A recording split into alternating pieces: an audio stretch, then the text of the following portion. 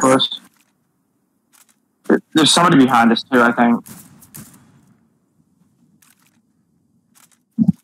Alright, I'm gonna uh, gonna head over to Jesse.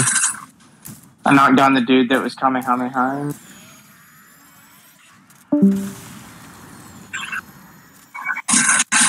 He's dead too.